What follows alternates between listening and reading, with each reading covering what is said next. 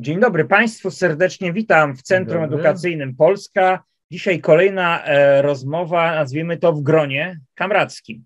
Tak. E, witam e, tutaj obecnych i obecnych w Warszawie i obecnych przez internet w Łodzi. W Łodzi lider łódzkiego ruchu oporu Marcin Makowski. Witaj Marcinie. Czołem Wielkiej Polsce, czołem ojczyźnie, szponem wrogowi. No, długie macie te po, w łódzkim ruchu oporu powitanie. E, śmierć wrogą ojczyzny. Czołem Wielkiej Polsce, Słowiańszczyźnie, naszym prawdziwym sojusznikom. E, a w, u mnie w studio warszawskim wszystkim znany Maciej Poręba. Witaj Macieju. Witam, dzień dobry. Witam e, kamratków, kamraty, ludzi dobrej woli. Sprawa zlewa, ważnie, że myślących podobnie jak my.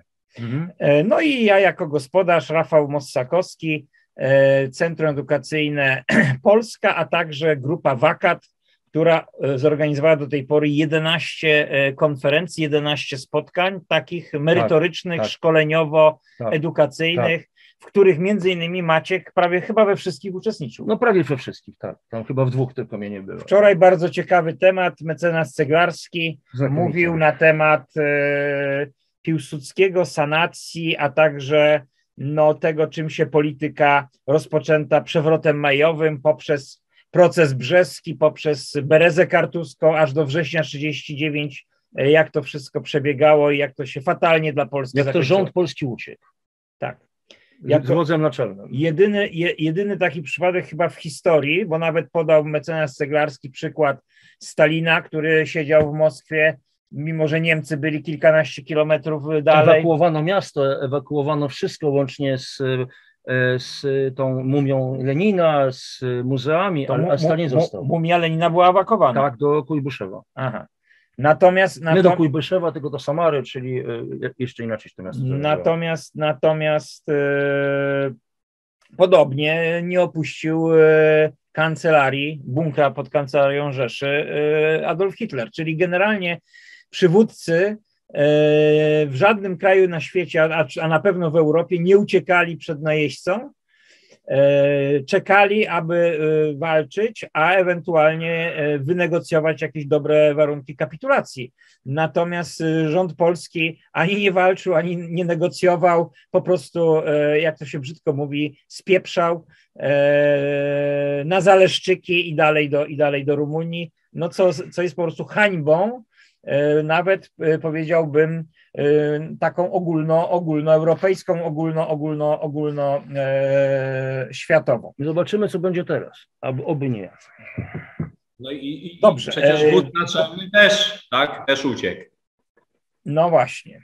Mam prośbę, pozdrów Adama Śmiecha ode mnie serdecznie. Dziękuję. Właśnie mogę teraz powiedzieć, bo jak mówiliśmy o zamachu, tak, i o y, ważnych y, y, datach w historii Polski, to też zapraszam, mamy, mamy w czwartek prelekcję o 18.30 na ulicy e, e, Pruchnika. E, szczegóły są na naszym, na naszym tutaj fanpage'u Łódzki Ruch Oporu. Prelekcja będzie właśnie z kolegą e, Adamem Śmiechem, redaktorem e, również Myśli Polskiej, na temat właśnie zamachu majowego i jego mhm. konsekwencji. Także nasze środowisko narodowe i kamrackie regularnie się spotyka w ramach po prostu tych, tych, tych wydarzeń, w ramach klubu imienia Romana Admowskiego, klubu Myśli Polskiej, no i też tam uczestniczą również kamraci, którzy należą też do tych, do tych że tak powiem, y, czy stowarzyszeń, czy nieformalnych grup, także się to środowisko przenika y, i zapraszamy. Mamy z reguły dość sporą frekwencję, no ale może ktoś jeszcze nie dotarł do nas, to po prostu zapraszamy. Powiem od razu, że no, słynny ten atak na początku kwietnia grup neonazistowskich, y, y, które są y, jakby ich kolaborantami czy przyjaciółmi są tak zwane środowiska narodowe z Młodzieży Wszechpolskiej, ONR-u, czy też no, innych tego podobnych formacji. No, jesteśmy zabezpieczeni, także nikomu nic się nie stanie, że tak powiem no, oni, oni, jak to mówimy o spieprzaniu, to, to jak weszli, weszli do lokalu, gdyby nie użyli gazu, to by spieprzali od razu, a tak to po jednej minucie spieprzali, także też spieprzali, myśleli, że nam spacyfikują, a dosta, po prostu naprawdę skicali, jak, jak, jak te, ja sam ich goniłem, nie? krótko mówiąc. No, tylko, że ym, po prostu gdyby nie to, że nas zagazowali i mieliśmy na oczach, praktycznie nie widzieliśmy na oczy, no to po prostu yy, no, mam nadzieję, że, że dojdzie do, do procesu, tak, bo jeden z nich, o, o, o. z tych ludzi, yy, którego znamy z imienia, nazwiska jest po prostu yy, bo, no, wskazany, tak, był przesłuchiwany przez, przez policję, E, I dziwne, dziwne jedynie, że nie został aresztowany. No to, to też jest znamienne, tak, bo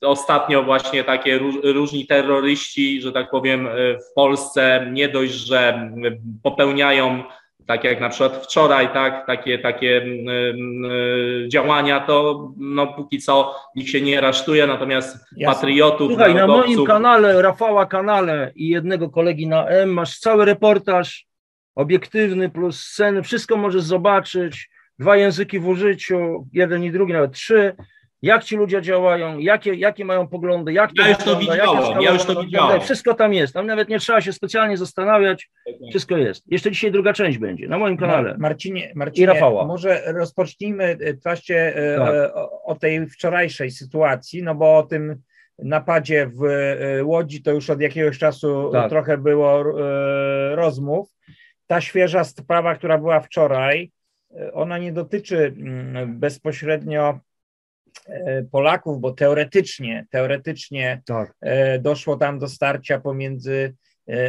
imigrantami z Ukrainy, a no, ambasadorem Federacji Rosyjskiej. Niemniej, jak ty to oceniasz? Może od ciebie zacznijmy. Później ja, tak. Potem, potem, potem Maciek. Jak ty to oceniasz w parę minut y, tą sytuację? Y, no bo sytuacja potencjalnie była bardzo groźna, bo gdyby się ambasadorowi coś gorszego stało, no to nie tylko e, ewentualne zerwanie e, stosunków dyplomatycznych, ale nawet kasus belli, no bo przecież to był, to jest dyplomata, który podlega specjalnej ochronie na terenie także naszego kraju. Chciałbym na początek osobisty wątek, bo kilka lat e, temu uczestniczyłem właśnie pod tym pomnikiem 9 e, maja w, uroczyst, w uroczystości. Tutaj taka nasza była delegacja, e, powiedzmy z Łodzi i okolic. Byli też przedstawiciele po prostu Związku Byłych Żołnierzy Armii Polskiej. W związku z tym sam uczestniczyłem w tej uroczystości, wiem jak ona jest podniosła, w pewien sposób wzruszająca, jak ona wygląda i, jak wielu Polaków tam przy, przy, przychodziło kilka lat temu. No ja mówię, akurat raz byłem w, w Warszawie i widziałem to na własne oczy. W związku z tym uważam, uważam że rezygnacja z tej uroczystości ze strony tutaj y, rosyjskiej ambasady no była wyrzeczeniem samym w sobie, tak, bo no, widać było, no, pewne, pewnych rzeczy się nie da, jakby to powiedzieć, wyreżyserować czy udawać. Tam, tam było autentyczne wzruszenie tych ludzi i y, no, jakaś, jak, jak, jakieś nawet czuć było ciarki na plecach, tak, także no, przypominam, bo, bo, bo zawsze pytam wszystkich, którzy którzy są ekspertami czy nie ekspertami, bardziej czy mniej domorosłymi, ile, ile zginęło ludności Związku Radzieckiego w czasie II wojny światowej czy Wielkiej Wojny Ojczyźnianej. I tutaj, no nie wiem, koledzy, zapytam Was, bo, bo na pewno, bo, bo to nie jest od razu powiem prosta odpowiedź, bo nie wiadomo do końca, tak? Może, może, może ewentualnie, no ale ja, ja powiem tak, z moich informacji, z moich lektur, a wydaje mi się, że dość, dość sporo na ten temat przeczytałem i, i sporo wiem, to Szacunki są, że zginęło pomiędzy 28 milionów a 43 miliony ofiar tak, tej wojny. No, uzmysławiając sobie te liczby, te liczby, tak, już nie mówię o 600 tysiącach poległych żołnierzy Armii, Armii Czerwonej na, na, przy wyzwalaniu Polski, przy wyzwalaniu, jak to mówił profesor Zygmunt Wojciechowski, macierzystych obszarów Polski, tak, czyli ziem mhm. zachodnich, ziem północnych, Y, które, które wróciły do nas często Wrocławia, Szczecina, które, które pewnych obszarów, które nigdy do nas nie należały, tak jak, jak tak. Y, powiedzmy Suwalszczy, znaczy nie, no, tych północnych y, obszarów obecnego, czyli dawnych tam tych Prus, tak, obecnego województwa warmińsko-mazurskiego, i tego, że według tutaj jednego z publicystów, który przeanalizował problem, że w II Rzeczpospolitej on, on zbadał powiaty, tak, w których w ilu tych powiatach naród jako, jako był przeważający, tak, Polacy jako naród, na jakim obszarze by, byli prze, przeważali, no to wyszło, że no, druga, druga RP, czyli o ile pamiętam 389 tysięcy kilometrów kwadratowych, to Polacy przeważali na 212 tysiącach, czyli mamy dzisiaj sytuację, no póki co, tak, bo mamy tą, tych przesiedleńców ze wschodu, czy tam z południowego wschodu, mamy 312 tysięcy kilometrów, a przecież mamy też obszary czy na Wileńszczyźnie, czy na Grodzieńszczyźnie, czy nawet gdzieś tam w okolicach Żytomierza, gdzie też no, wyspowo Polacy przeważają, czyli ten obszar jest większy, czyli z tej perspektywy, y, tak jak właśnie y, mówił y, Zygmunt Wojciechowski, twórca Instytutu Zachodniego, wybitny mediewista, narodowiec, że dla odzyskania tych ziem macierzystych on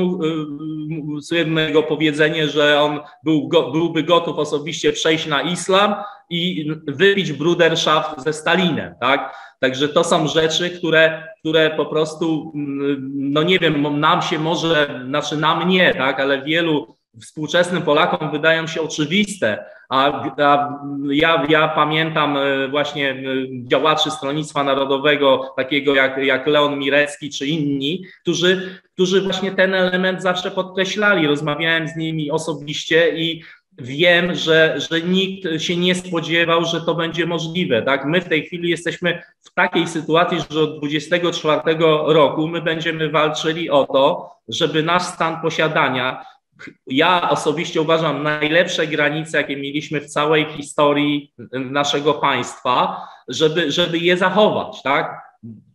O to idzie gra. I to, co się stało y, wczoraj, no to można powiedzieć, że to jest, to jest gra na to, żeby to zniszczyć, tak? Bo mm, mm, jakieś, jakieś ta pani, która wylała, y, bez oczywiście brak, y, ignorancja, znaczy brak w ogóle, y, jakby to powiedzieć, rozkazu, bym tak to powiedział, albo rozkaz, żeby nie chronić nie chronić tutaj przedstawicieli ambasady rosyjskiej na czele z ambasadorem, po wycofaniu się, właśnie to, co mówiłem na początku, po wycofaniu się strony rosyjskiej z tej podniosłej uroczystości, co sam tego doświadczyłem i wiem, jakie to musiało być dla nich wyrzeczenie, bo to jest y, rzecz nieprawdopodobna, że oni się z tego wycofali, no zdając sobie sprawę, będą odpowiedzialni z tego, czego można się spodziewać, czyli, czyli moim zdaniem zrobili wszystko, żeby y, w minimalny sposób, tak, y, y,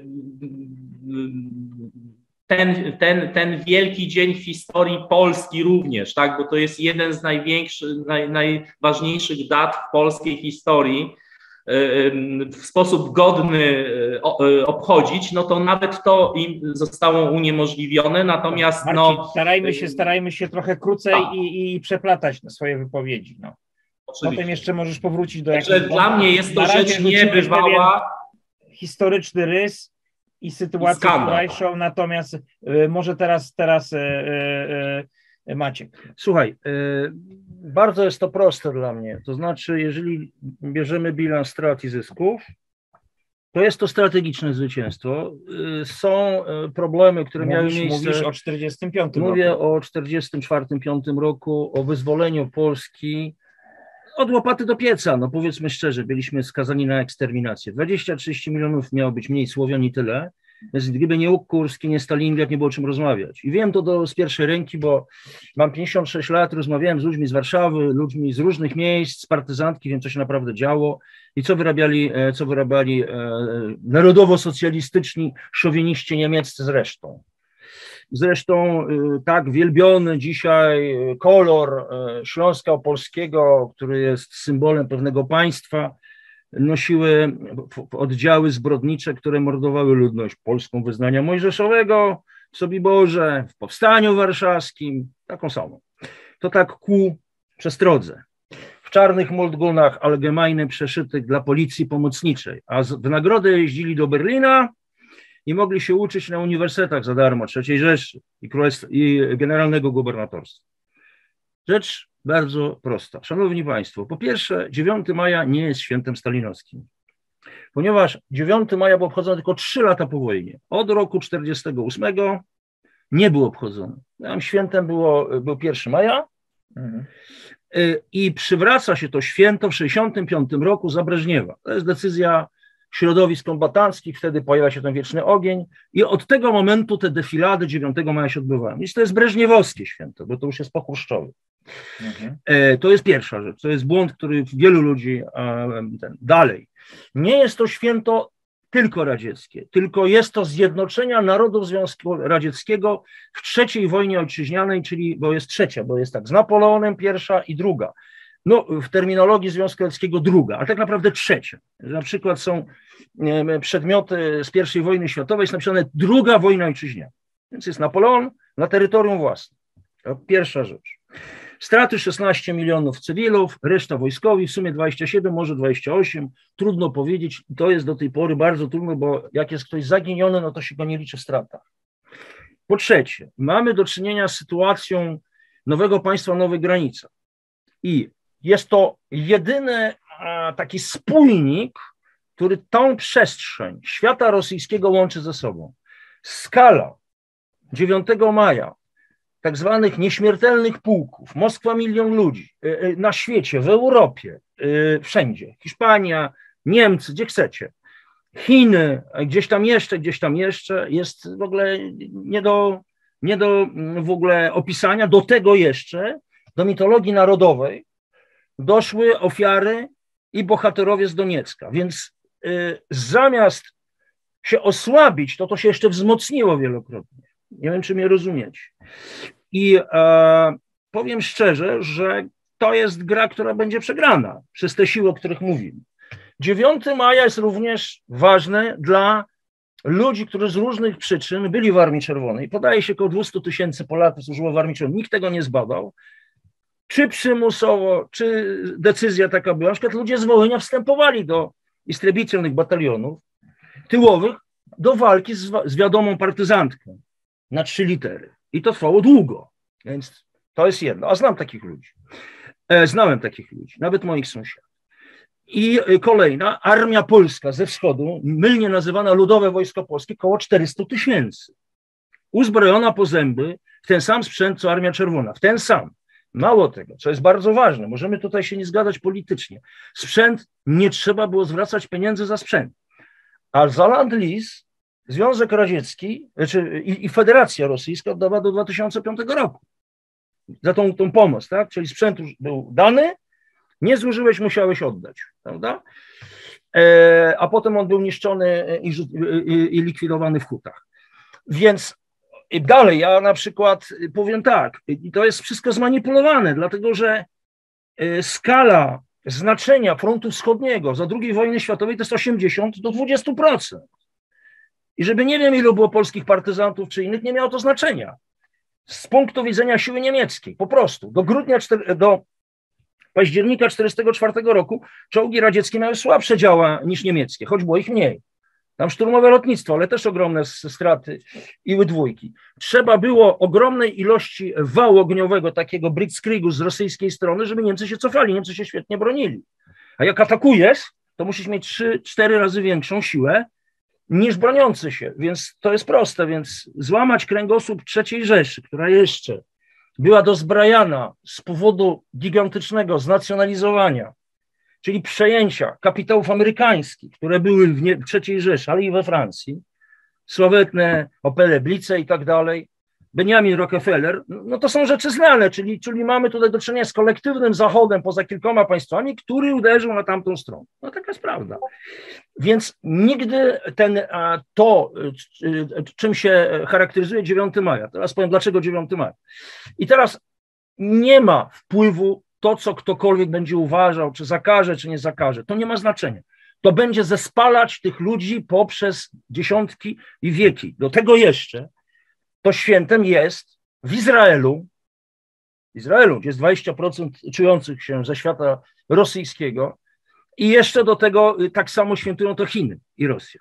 Tam zginęło z rąk japońskich 30 parę milionów, między 31 czy tam 37 a 45. I jeszcze takich y, sytuacji jest bardzo wiele w krajach y, różnych na świecie, chociażby Korea, chociażby Korea, tak, która ma do tej pory konflikt historyczny z, z Japonią, tak? bo przecież od 890 okupacja lat japońska. okupacja japońska plus zaplecze wojskowe armii japońskiej, tak? gdzie, gdzie, gdzie trzciną e, i, i mieczem wymuszano bezwzględną dyscyplinę i, nie, i, i pogardę dla, dla jeńców, ale to oddzielne, oddzielne sprawy. I teraz 9 maja, dlatego że generał Bradley nie zgodził się na to, żeby tylko Niemcy kapitulowały, czyli rząd Dynicza, następcy Hitlera, byłego admirała na południu Niemiec, żeby e, kapitulowali tylko przed Zachodem. I e, wtedy nie było żadnego generała, e, który mógł ewentualnie podjąć się tą decyzję, znaleziono jakiegoś innego, w tej chwili nie pamiętam. I bezwarunkowa kapitulacja hitlerowskich Niemiec. I teraz uwaga, dzięki Rosji Związkowi Radzieckiemu Francja jest stroną zwycięską, czyli siedzi przy stole. Wiadomo, co to była Francja, więc nie było okupacji Francji, podzielenia stref okupacyjnych, tak jak Włochy, tak jak Niemcy, tak jak Japonia, tak, bo to wiemy, jak Niemcy oczywiście. I 9 e, maja to wtedy e, bezwarunkowna kapitulacja e, wszystkich uczestników i tego głównego, który odpowiadał za zwiększenie większości siły żywej przeciwnika. Tak? Mobilizowano 11 milionów ludzi, tylko w 1944 roku samochodów, pojazdów, czołgów straciły Związek Radziecki 23 tysiące. Czyli pomyślcie sobie skalę, tak? Tysiące? Tak. 23 tysiące. My mówimy o kraju, który wyprodukował do 100 tysięcy czołgów. Ameryka też, porównywalne. To skale w ogóle, które się ludziom nie śniły nie, i w ogóle 30 y, y, y, parę tysięcy ginęło dziennie, 20 parę, 30 parę tysięcy ginęło dziennie, oficerów ginęło, ginął liniowy co trzeci dzień. W ogóle nie zdajemy sobie sprawy ze skali. Oczywiście były problemy z gwałtami, o których słyszycie, ale to jest kropla w morzu, to było bardzo ostro zwalczane, za to były, byli rozstrzeliwywani, ale dużo większy procent gwałtów był po stronie Anglików, Amerykanów, to zbadali i niemieccy, i inni uczeni. Więc nie przesadzajmy. Sam miałem sąsiadki z powstania, które na słowo brytyjski żołnierz amerykański się modliły, bo też y, w obozach, które były wyzwalane, takie rzeczy się zdarzały. Więc, więc nie róbmy z tego głównej laurki, podchodźmy do tego racjonalnie. I gdyby nie Armia Czerwona 44, nie byłoby Polaków, nie istniałby ten naród. Nie istniałby ten naród, po prostu. I jeszcze parę innych. E, no jeszcze, jeszcze Serbia oczywiście, która też to przecież świętuje, to jest oczywiste, mimo różnych ale. E, silne środowiska francuskie, hiszpańskie, to wszystko widziałem. Więc powinniśmy podchodzić do tego w sposób realistyczny, strategiczny, a nie infantylno, romantyczno, ideologiczny. Nie wiem, czy mnie rozumiesz. I e, ten tak, infantylizm jest charakterystyczny dla tych wszystkich środowisk. I to, co się wczoraj działo na, na cmentarzu, to jest absurd, idiotyzm, i e, niedorzeczne, e, nie do przyjęcia, e, pogwałcenie, słuchajcie, prawa jeszcze z Wiednia chyba 61 roku nietykalności przedstawicieli ataszatów, dyplomatów obcych w danym państwie, tam nawet krąć palcem nie wolno. Oni nie odpowiadają przed niczym. Oni są na zaproszenie danego kraju i ten kraj im gwarantuje nie, y, kompletną, y, kompletne, y, kompletne brak możliwości wpływu na nich w ogóle i, i kontrolowanie ich. I kolejna rzecz, zrobiła to osoba obca, zrobiła to osoba obca z obcego kraju, będąca w Polsce gościem, e, powodując bardzo poważne problemy Kryzys y, dla Polski, dyplomatyczne. I trzecia rzecz, dzieje się to na cmentarzu. Żeby nie mylić, cmentarz jest miejscem spoczynku różnych e, osób z różnych frontów i od 1930 roku przez rok 92, zdaje się 91, 92 była umowa o wzajemnym poszanowaniu pamiątek związanych z II wojną światową, związanych z Armią Czerwoną i spuścizną Związku Radzieckiego, które polska strona podpisała. Nie wiem, czy mówisz, o czym ja mówię. W związku z tym wystawiamy się, no powiem szczerze, no, na taką poważną krytykę. To tam e, e, środki masowego rażenia powiedzą, to mnie w ogóle nie interesuje, bo one nie są dla mnie wiarygodni ani miarodajni, z jakimiś napisami 3000 czołgów straconych przez stronę rosyjską, takie jakieś tam bajki. Natomiast kłopot polega na tym, że to jest bardzo poważne ośmieszenie Polski, Polski i y, no bym powiedział, zresztą y, minister spraw zagranicznych Rał bardzo ostro, który jest w tej chwili w Iranie, bardzo ostro się wypowiedział w tej sprawie. Więc tutaj no opieszałość założona lub niezałożona, nie chcę w politykę wewnętrzną wchodzić, ale z punktu widzenia geostrategii skutków międzynarodowych, nawet Turcja to zdaje się zauważyła, no słuchajcie Państwo, no to jest bardzo poważne i ciekawa jest rzecz, bo ja tego do końca nie wiem, ale jaka by odpowiedź Ministerstwa Spraw Zagranicznych Federacji Rosyjskiej? Umożliwić powinien, i to jest nakaz jakby, żeby stosunki były chociażby jakie są. A strona polska nie chce całkowitego zerwania tych stosunków, chce zachować kontakt. Tak? To jest tak powiedziane w ten sposób. E, chodzi o co? Chodzi o to, żeby mógł ambasador złożyć te kwiaty i ma mu to zabezpieczyć Ministerstwo Spraw Zagranicznych. Okej, ale tego nie wiemy, czy do tego doszło. Ja nie wiem, tylko wiem, że takie były e, zalecenia strony rosyjskiej. Teraz To tak, e, jak- jakby to opisać, tak? zaraz wrócimy do, do, do kolejnej tury waszych wypowiedzi. Ja bym chciał tylko zauważyć e, jedno, że jak gdyby akuszerami tego skandalu dyplomatycznego e, są niestety prezydent Warszawy Rafał Trzaskowski, a z drugiej strony szef e, Ministerstwa Bezpieki e, Mariusz Kamiński, czyli jak gdyby dwie strony rzekomego konfliktu w Polsce, to znaczy władza i opozycja. Ja, Rafał, wiesz, I jedni i drudzy Mhm. maczali w tym swoje palce. Tylko, że słuchaj, tylko, że niestety waga wydarzenia i skutki wydarzenia są większe niż te osoby, sobie Mhm. wyobrażają. Oni sobie chyba nawet nie zdają sprawy. Będę na ten temat, już się umówiłem, rozmawiał też z osobą, która ma doświadczenie dyplomatyczne, z panem ambasadorem Janem Bisztygą. No tak, tak, tak. E, on dużo- Bisztyga mi obiecał, że za kilka dni udzieli mi wywiadu, gdzie poruszymy między innymi ten temat. E, No i myślę, że to mogą być ciekawe e, e, informacje, ciekawe, ciekawe refleksje, bo to był człowiek, który jednak wiele lat e, spędził e, w dyplomacji e, jako ambasador w Atenach, jako ambasador w Londynie, a wcześniej był też jeszcze jako pracownik polskiego mm, wywiadu. Pracował w ochronie, zdaje się, ambasady w Indiach i w paru, i w paru innych miejscach. No jeszcze był ambasadorem Wielkiej Brytanii. No mówiłem, w Londynie. Tak, to w Londynie, przepraszam. Tak, Mhm. tak, tak, przepraszam. E, Natomiast y, co warto zauważyć, co jak gdyby mm, często ludzie tego nie zauważają. E, Armia Czerwona nie była armią rosyjską, to była armia wielonarodowa, Narodowo, tak jak mówiłem. Tak. gdzie około 30% to stanowili Ukraińcy, kilkanaście procent było Białorusinów. Rosjan było y, najwięcej, ale nie aż tak dużo więcej Nie, nie. niż Ukraińców. Dlatego jest, dlatego jest to armia radziecka Związku Radzieckiego. Oczywiście. Tam jeszcze było ze 40% Rosjan, tak. 30% Ukraińców, kilkanaście procent Białorusinów, ale byli też żołnierze z Azji Środkowej, Tak.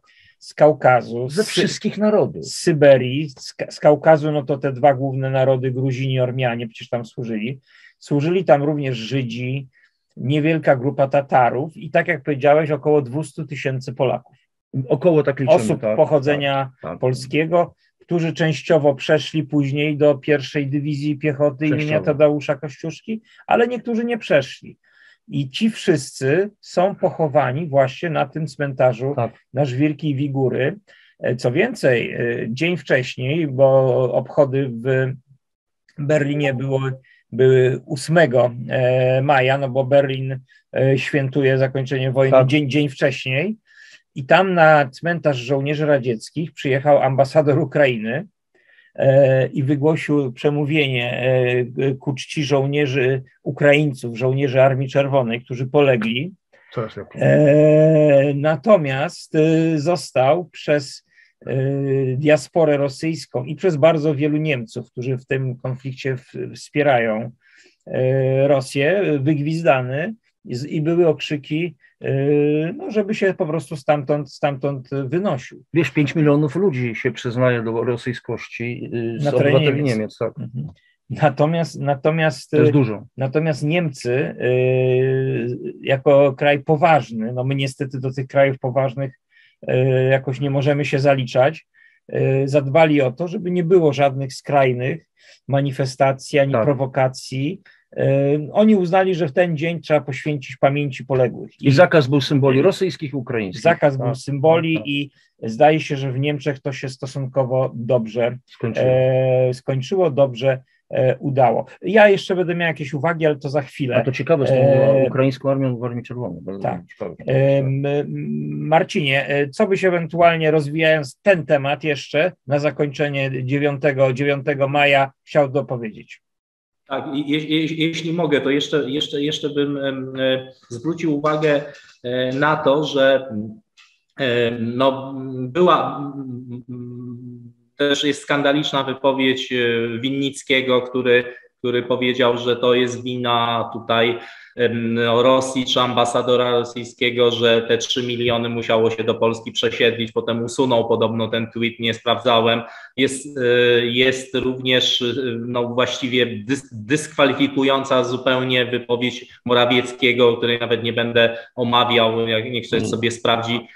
Rzeczywiście chyba jedynym, jedynym, jedynym tutaj jakimś no, politykiem, e, który, jakimś przedstawicielem rządu, który no, no, z racji być może tego, że jest ministrem spraw zagranicznych, no ale jakoś spowodował, że, że jest jakiś cień nadziei, że, że, że to państwo nasze jeszcze w ogóle w jakikolwiek stopniu istnieje i prowadzi politykę taką, jaką powinny państwa prowadzić, bo przypuszczam, że w Stanach Zjednoczonych, gdyby coś takiego nastąpiło, to ja nie wiem, czy takiej osoby by ktoś po prostu nie zastrzelił tak, obecnie. Tak? Ja sobie nie wyobrażam w jakimkolwiek kraju zachodnim, żeby to zostało w ogóle dopuszczone. Tak? No, przypominam, że to, co zresztą było widać na różnych filmach i są już materiały, chociażby Mateusz Wiskorski i Tomasz Jankowski o tym mówili, gdzie, gdzie oni sami zostali osobiście um, doświadczyli napadu um, na siebie, tak? Napadani byli funkcjonariusze na służbie, tajniacy, um, Polacy, którzy chcieli złożyć kwiaty, osoby, niejaki Kamiński, tak, tak, tak zwany pałkarz, tak, jak, jak tutaj się, że tak powiem, czasami go określa z racji na swoją przeszłość, niejaki Kamiński przecież powiedział, że, że, że tutaj były jakieś kobiety i tak dalej. No przecież wystarczy popatrzeć, że to by wyglądało na jak, jak, jakąś przygotowaną od góry inscenizację, gdzie były jakieś głównie młode osoby, które najprawdopodobniej w ogóle nie, nie znają e, historii, tak? nie, nie mają o tym pojęcia, nawet nie wiedzą najprawdopodobniej przed czym e, protestują. E, te osoby krzyczały, śpiewając banderowskie pieśni, tak, bo tam były banderowskie pieśni, banderowskie pozdrowienia, tak, krzyczały y, faszyści, no to o sobie chyba mówili, mówili. no to jest po No, prostu rzecz nie... Ostro jedzie, ale tak było. Tak. Zresztą w reportażu, który na moim kanale zobaczysz i u Rafała, to wszystko jest, nie trzeba tego komentować. Tak, tak, Słuchaj, zgadza się, polecam, mamy do, bo ten mamy do czynienia reportaż z ludźmi, którzy e, są wychowani w kulcie bezrefleksyjnym UNUPA, bezrefleksyjnym, począwszy od elementarza Mały Bandera, no i tyle, to wszystko. Tak, tak. 2002 albo trzeci rok to się zaczęło. No Natomiast ta osoba, która wylała to, tak, wylała, przecież to nie było tylko tak, że ona wylała, tam było wiel, ileś osób próbowało zatrzymać ambasadora Siergiejewa, były, były, były rękoczyny, zerwano mu okulary z twarzy. To był cały ciąg y, po prostu fizycznej napaści tych ludzi, którzy y, y, no po prostu uniemożliwili mu, mu po prostu zgodne, minimalny sposób właśnie mm, obchodzenie tej uroczystości. Także tu nie mamy do czynienia z jednym incydentem, tu mamy do czynienia z całym ciągiem zdarzeń, gdzie ewidentnie policja miała nie interweniować, tak? Miała nie interweniować i nie interweniowała ktoś musi ponieść za to odpowiedzialność. Bo nie, poczekaj, policja interweniowała po oblaniu farby ambasadora i zrobiła kordon wokół tak, niego. Tak, Oni tam byli. E, natomiast było jeszcze jedno wydarzenie, bo ty mi, Rafał, o tym mówiłeś, tak? Potwierdzone. Mhm. Próba zaatakowania szkoły rosyjskiej w Warszawie. Tak, tak. tak? To jest kolejny, kolejny Słyszałem, incydent. że w tym samym dniu szkoła też została ewakuowana. Tak, ja to potwierdzam, bo jest, już widziałem informację, że doszło do takiego napadu. Została tam, nie wiem dokładnie, ale zdaje się polana też farbą czerwoną, jako grodzenie, nie wiem, nie wiem, nie wiem co dalej, tak? Także no, te incydenty się kumulują. My jesteśmy naraż, narażeni z tego tytułu, no, na, no bo w dyplomacji, jeszcze przypomnijmy jeszcze jedną rzecz, już, że przecież od czasów starożytnych, jak ktoś czytał Iliadę, no tam, tam jest takie taka, taka e, funkcja, tak? Tacy ludzie, którzy są określani gre, greckim określeniem keryks, to byli posłańcy, którzy, którzy po prostu byli nietykalni. Od starożytności posłańcy są nietykalni, uważani byli za wręcz napaść na, na, taką, na, na, na taką osobę, na posła. No, mamy przecież odprawę posłów greckich chociażby, tak? E, napaść na posła była uznawana za wystąpienie przeciwko Bogom, tak? bo, bo, bo tak. poseł był przedstawicielem no, jakiegoś wyższego rzędu porządku, można powiedzieć wręcz kosmicznego, tak? To, to w ogóle rzecz nie do pojęcia. Mamy konwencję genewską. Coś takiego może się zdarzyć tylko w kraju barbarzyńskim, tak? nazwijmy rzecz po imieniu. Tak? Nie, nie, nie, da się tego usprawiedliwić na, ża na żaden sposób, ale mimo to prasa to usprawiedliwia. Prasa yy, po prostu, chociaż muszę powiedzieć, że czytałem, że, że, że czytałem Onet, który jednak mimo wszystko uznał, yy, na Onecie uznano, że yy, po prostu nastąpił totalny chaos wszystkich służb i, po prostu nikt nad tym nie panował i że stwierdzili z ich perspektywy oczywiście, że strona rosyjska tylko na tym zyska, no bo to, bo zgodnie z prawdą, no to co mówią, że, że następuje tutaj e, przyzwolenie na, na e, po prostu jakieś burdy, gdzieś się właśnie banderowskie pieśni śpiewa, banderowskie hasła yy, skanduje, no to jest faktem, tak? To jest faktem. No to jest ideologia, I... wiesz, to, to, to, to jest tak. normalne tam. To jest normalne. No nie, bo jeszcze tam jest to normalne, musisz to pojąć. Od 14 tak, roku jest na jedną rzecz stan. uwagę. Niestety. Że ci Ukraińcy tu w Polsce. Tak, Rafał. To jest normalny stan. Tak, ale ci Ukraińcy tu w Polsce i sposób, w jaki się dawkuje bandery z powoli w Polsce, tak? Robi, robi się to świadomie i, i jakby e, celowo. No dobrze, a Zauważ... co z ustawą sejmową z 18 roku w tej sprawie? Coś wiecie? Bo ja mało się znam na wewnętrznych polskich sprawach. Przecież istnieje taka ustawa. Mhm. I co? Jak ona się czuje? Nawet był dzień ustalony, tak, w Sejmie w 18 roku. Rafał. No jest Dzień Pamięci Ofiar yy, ukraińskiego ludobójstwa na Wołyniu i w Małopolsce Wschodniej. Nie został usunięty. Nie został. Nie. Y, y, telewizja. Ale datują, tak? Bo najpierw zaczynają od herojom, sława Ukrainie, herojom sława, czyli od pozdrowienia banderowskiego. Potem gdzieś w tle w TVN-ie widzimy banderowską flagę, tak niby, no to, to, to. niby przypadkiem. Następnie jest czerwona kałyna, tak, która jest, no nie zaśpiewają, że soborna Ukraina od, od, od Sanu e, po Kaukaz, to jeszcze nie śpiewają, no ale przygotowują się do tego. Mhm. Także widać i nie, i nie, noszą póki co flag banderowskich, no bo wiedzą, że w tym momencie sobie na to nie mogą pozwolić, aczkolwiek zdarzają się już takie sytuacje gdzieś tam mm, wywieszania flag gdzieś w mieszkaniach e, tego rodzaju. E, także oni to robią świadomie, żeby przyzwyczaić tutaj ludzi, no bo przecież jest cały, cały czas chodzi o to, żeby żeby powiedzieć, że no, jeżeli, jeżeli Wołyń był tyle lat temu, to o tym nie przypominajmy, bo teraz mamy inaczej, a jest dokładnie odwrotnie. Tak? Ostatnio przecież podano wyniki badań, gdzie, gdzie po prostu jeszcze kilka lat temu tam około 40% Ukraińców uważało Banderę za bohatera, e, a obecnie to jest ponad 80%. No, także ten po, po, postęp Bandery... 8 lat wystarczyło w III Rzeszy, to. Gigantyczny, gigantyczny. Dobrze. E, Maciek, teraz ty jeszcze coś na temat tej sytuacji i zakończmy tą rozmowę, przejdźmy do spraw Wiecie co, e, e, ja więcej nie powiem, bo wszystko jest w materiale, który zobaczycie.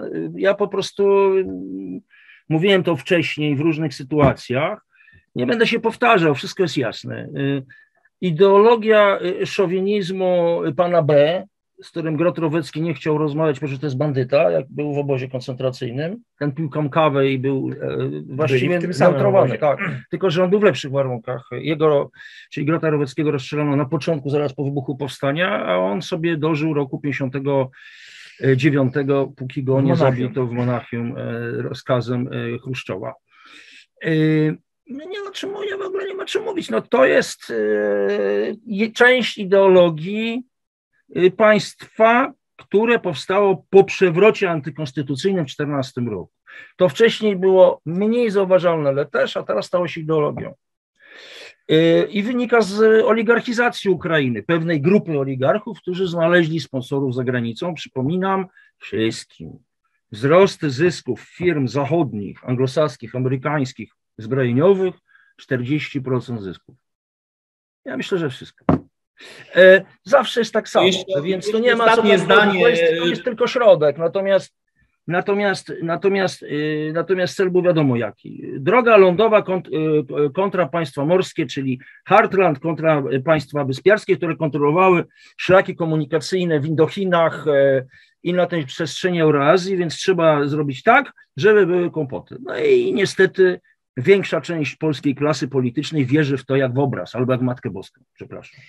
Koń, końcowy fragment. Jeszcze ostatnią rzecz podsumuję, bo, bo, bo zaczęliśmy, że właśnie mówiliśmy o II wojnie światowej, to taki słynny no, swego czasu, bo teraz mało znany, czy tam no, znany pisarz Ferdynand Goethe w takiej swoim pamiętniku Czasy wojny pisze o Ukraińcach, a to nie był przecież narodowiec, tylko on był, można powiedzieć, sympatyzował z obozem piłsudczykowskim, i on pisze w swoich pamiętnikach, że w czasie wojny w społeczeństwie polskim Ukraińcy,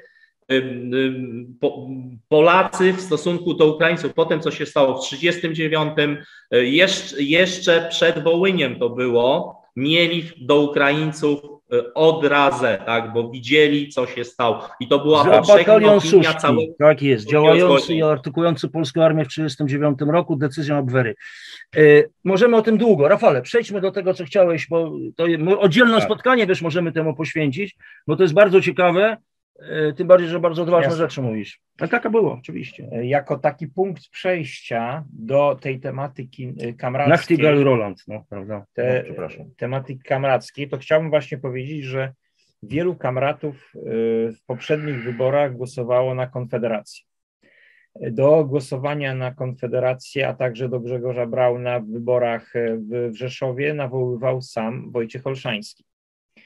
E, I y, teraz widzimy, że y, Grzegorz Braun w pewnym sensie jest osamotniony w Konfederacji y, i nadal wielu kamratów bardzo ceni sobie Grzegorza Brauna, natomiast osoby, które no, stoją na czele tych pozostałych grup, to znaczy zarówno Winicki i Bosak, bardzo stracili w oczach kamratów, można powiedzieć, wszystko stracili w oczach kamratów, a także wiele stracił Korwin-Mikke po tym, jak zachował się wo wobec Marcina Osadowskiego, który przecież był, można powiedzieć, przez ścianę sąsiadem. Tak. i po wyjściu z aresztowania musiał to, to miejsce zamieszkania opuścić. Te konie na rolet. No, tak jak umieściliśmy takie dwa, które są szeroko dyskutowane i komentowane filmy, jedna to nasza rozmowa sprzed mniej więcej tygodnia, E, druga to rozmowa mm, e, na mazowieckiej wsi, gdzie też żeśmy wspomnieli o tych sprawach kamrackich. Tam jest dużo różnych e, do przeanalizowania, zresztą odsyłamy tam, warto sobie poczytać te, te, te, te, te, te komentarze. Natomiast ja pamiętam, bo tu rozmawiamy w takim gronie, że no, y, Marcin jest jak najbardziej mocno zaangażowany w sprawę y, tworzenia tego politycznego ramienia ruchu kamrackiego w postaci stronnictwa, które musi mieć charakter narodowy. Tak jest. Stronnictwo narodowe, oczywiście nie przesądzamy nazwy, ale, ale, ale to ten kierunek. Narodowo-społeczny, tak bym to nazwał. Narodowo-społeczny kierunek. I, i tożsamościowy. I, tak, i tak. nawiązanie na przykład do geopolityki Romana Dmowskiego, to jest jak gdyby, to jest jak gdyby oczywiste. Z drugiej strony jest e, Maciek Poręba, który w filmie, który żeśmy nagrali tam na wsi, powiedział, że e, osobiście nie wstąpi do żadnej tak. partii, natomiast widzi potrzebę i popiera tworzenie takiej struktury, która będzie mogła wystąpić być może już za półtora roku a być może szybciej, gdyby wybory były przyspieszone. Ale Przepraszam, że przerwę, ale usłyszałem, że też oferuje doradztwo, tak? Jako, jako człowiek, który mógłby y, po prostu no, tutaj być ekspertem również tej, tej, tej y, partii, tak? Czy tego stronnictwa. Przede wszystkim powiem tak, czy chce, czy nie, chodzi za mną w internecie 10 tysięcy, 12 tysięcy ludzi, czasami więcej, mimo różnych przeszkód. No i ponieważ jestem praktykiem wschodnich spraw i jakby przeżyłem to, przebyłem to i kino i nie tylko pobyty, wyjazdy, survivale, mm, kontakty, które mam, czy miałem, bo teraz trudno o tym mówić, że to wszystko przez telefony, no spowodowały, że chyba trochę bardziej rozumiem, co się tam dzieje, niż e, większość e, pismaków i środków masowego rażenia i oraz politykierów, tak, no bo to politykami, trudno to nazwać. To mówiłem zawsze, czy tu, czy tam, e, spodziewając się, że może się stać to, co się stało, no co tak, się tak, stało, tak, no to się dało, tak? Ale trzeba ratować, co się da i próbować sytuację przynajmniej znormalizować, żebyśmy nie mieli tu jakichś majdanów i innych rzeczy, jakiejś anarchii, jakichś innych cudów, wianków, a zatem pójdą jeszcze jakieś inne rzeczy, no żeby z nas po prostu nie wyzerowali gospodarczy, politycznie. Myślę, państwa. że podobnie, my, podobnie myśli y, Wojtek Olszański, który zapowiadał jeszcze na jesieni ubiegłego roku, czyli jeszcze przed Kaliszem, że on y, być może w ogóle do partii kamrackiej nie wstąpi, nie będzie kandydował. E, teraz później to powtarzał, że ze względu na to, że E, grozi mu, że będzie skazany prawomocnym wyrokiem, być może to nawet byłoby niemożliwe, żeby kandydować. To jest kolejny jak gdyby etap.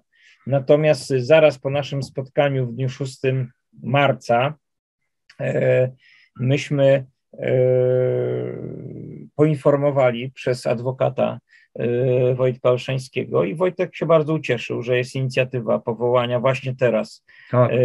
partii Stronnictwa Kamrackiego E, nawet wyraził swoje zaniepokojenie, oby nie było za późno. To znaczy, że po prostu najwyższy czas, żeby szybko się wziąć do tej roboty, bo półtora roku to jest zarówno dużo, ale też i mało czasu i trudności mogą być różnorakie. No tu jeszcze na zakończenie chciałeś coś, coś dodać, Marcinie. Proszę bardzo.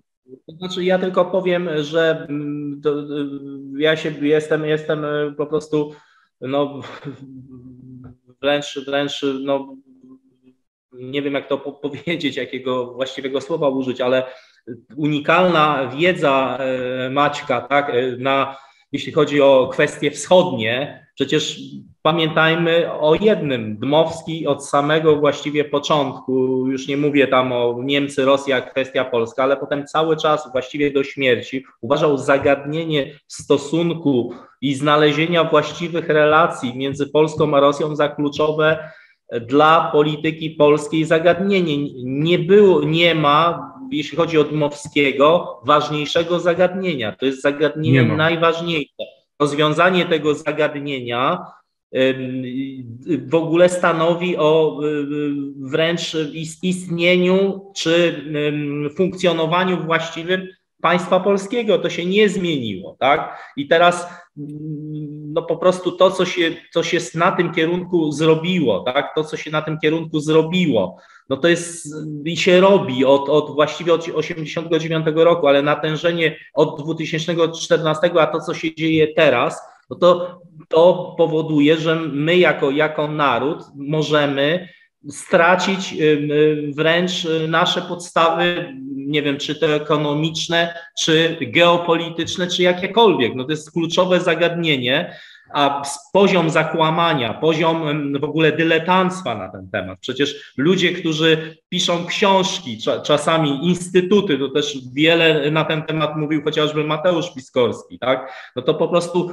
wręcz woła o pomstę do nieba, tak? No naprawdę wydaje, wydaje, wydaje się, że jeżeli będziemy mieli właśnie ludzi, mających tak unikalną wiedzę i, i po prostu wiedzących, jakie to jest kluczowe, no to my również od strony merytorycznej i mam nadzieję organizacyjnej będziemy, wydaje mi się, partią, która in plus się odróżnia od, od po prostu tej mierzwy, która tutaj jest. No bo przecież jak się czyta y, chociażby jakieś nowe łady tego związane z ruchem narodowym, no to tam ich, ich tak zwana, nie wiem, no myśl polityczna jest po prostu żenująca, tak? To jest kilka haseł na krzyż, już nie będę powtarzał jakich, no bo one generalnie się sprowadzają do tego, żeby, żeby budować, tak jak Duda mówił, chyba Polskę Polskę y, Ukropolin, tak, no bo to chyba do tego zmierza. Ludzi, którzy nie mają pojęcia o historii Ukrainy, o Ukraińcach, no tutaj, tutaj y, y, nie będziemy tego rozwijać, tak, no ale to, to po prostu no oni nawet nie wiedzą, bo sami Ukraińcy nie wiedzą, kim są, tak, oni sami nie wiedzą, kim są. Ja tylko powiem, że rozmawiałem ostatnio z, z Ukraińcem spod Charkowa, który tutaj jest od półtora roku z żoną i to wszystko, co mówimy, to w pełni potwierdził człowiek, który tam pracuje, przypadkowo go spotkałem. Na początku w ogóle nie chciał, bo ja go zapytałem skąd jest, jak mi powiedział, że jest spod Charkowa, to, to spróbowałem z nim porozmawiać normalnie, tak, i się powiedzmy otworzył. Natomiast, natomiast no, on się bał w ogóle mówić, tak, bo tam jest taka sytuacja i oni chcą dokładnie to samo zrobić w Polsce. My będziemy, oni chcą nas zastraszyć, żebyśmy my nie, nie polskich interesów po prostu nie reprezentowali, nie Jasne. walczyli o polskie interesy, tylko nie swoje interesy, nie wiem, amerykańsko, jakieś tam Słuchaj, prostu... bardzo, bardzo szybko y, i żeby jednym A. słowem przejdziemy do tematów. To jest znaczy, walka nie, nie, już, już, wielobiegunowości powoli z jednobiegunowością, bo w kolejce, jeśli chodzi o sankcje, są Chiny i Indie.